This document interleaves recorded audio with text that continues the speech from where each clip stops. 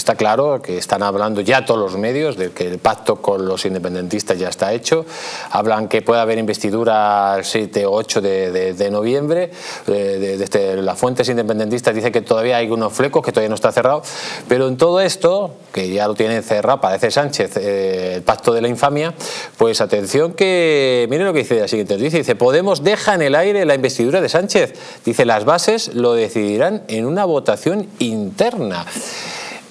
Yo cuando las bases votan en Podemos ya saben cómo votan. Hacen esas votaciones electrónicas que siempre gana lo que quiere Pablo Iglesias.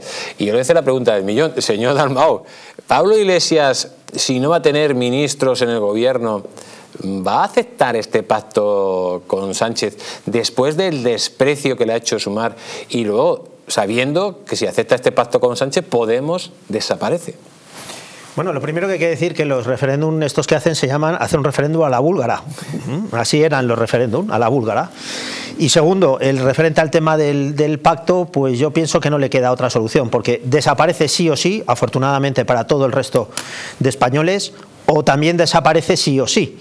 Con lo cual el resultado de esta ecuación es que Pablo Iglesias, Podemos, vais a desaparecer. Esto estaba escrito pero como vosotros siempre vivís en la nube, pues seguir asaltando los cielos.